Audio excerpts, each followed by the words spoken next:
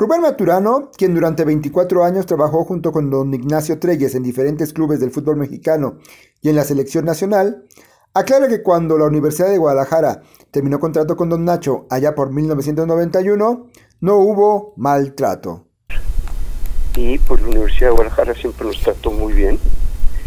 Y él estaba más contento porque él siendo de Jalisco fue el único equipo que le dio la oportunidad de entrenar yo le tenía un gran, gran, gran cariño a esta institución porque es de su tierra.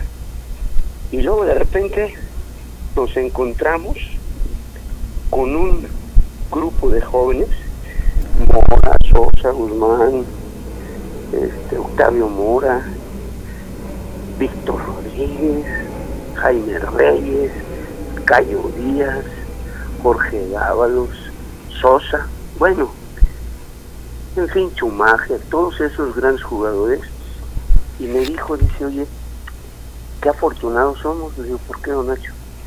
Porque llegamos a un equipo en el cual hicieron un gran trabajo toda la gente de abajo.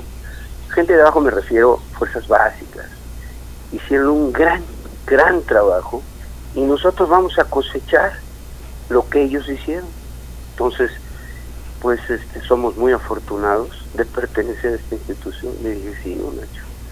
Maturano menciona que Treyes siempre estuvo agradecido por el gran trato que se le dio en la Universidad de Guadalajara, de donde salieron grandes jugadores como Daniel Guzmán, Poncho Sosa y Octavio Mora. Al final, ambos decidieron seguir sus caminos por separado y Rubén Maturano hoy trabaja felizmente en la UDG.